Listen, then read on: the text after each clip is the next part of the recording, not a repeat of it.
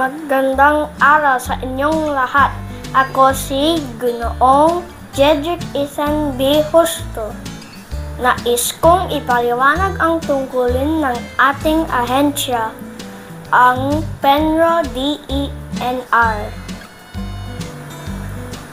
Una sa lahat, ang Provincial Environment and Natural Resources Office ay sangay ng Department Environment and Natural Resources.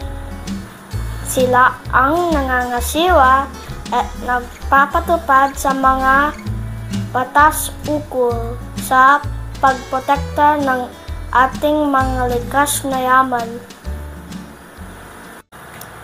Ang Pangasinan ay maraming likas na yaman.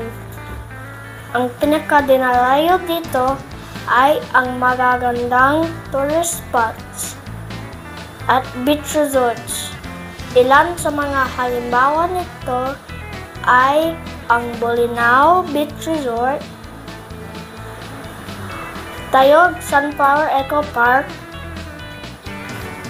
Lingayen Beach, Tundul White Sand Beach, Minor Basilica Our Lady of the Rosary of Manawag, Hundred Islands National Park, at marami pang iba. Ang mga lugar na ito ay pinapakinabangan ng marami nating kababayan kaya dapat natin itong ang pangalagaan. Polusyon ang isa sa pinakamalupit na sanhi na pagkasira ng mga ito.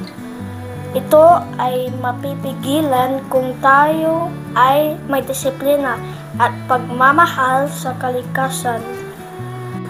Ang isa sa mga paraan upang mabawasan ang polusyon ay ang 3 R's o ang reuse, reduce, recycle. Sa ating munting paraan, umpisahan natin sa ating tahanan ang paghihiwalay ng mga basurang nabubulok, hindi nabubulok at for recycle.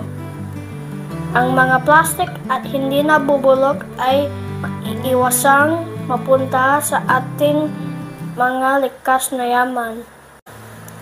Bilang stewards of God's creation, ituro din natin at palawakin ang 3 R's.